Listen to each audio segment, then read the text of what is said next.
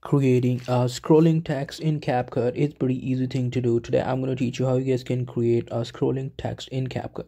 Now suppose I have this footage and now I want to add a scrolling text. So how I'm going to do this? So for that I'm just going to add a text and add however the text that I want to add. Suppose I want to add a text of hello. I'm just to you know, add it randomly but in your case you have to add your text. So I'm just going to take it.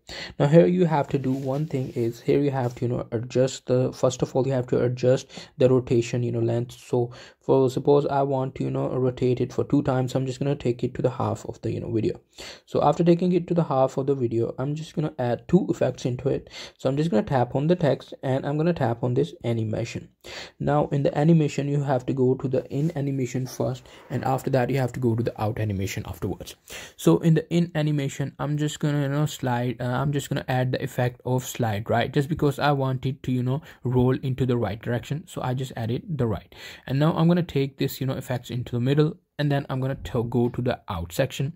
Now in the out section i'm going to do the select the same you know effect which is slide right and i'm going to add it to the middle.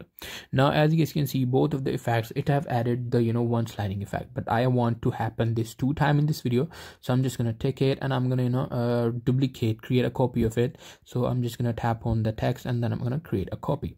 And after creating the copy i will easily be able to adjust it in the end and now i will have a rolling text in you know two times in one video. So as you guys can see it is rolling first time and then as you guys can see it is rolling second time. So that's pretty much it. That's how you guys can do it. Hope you guys find this video helpful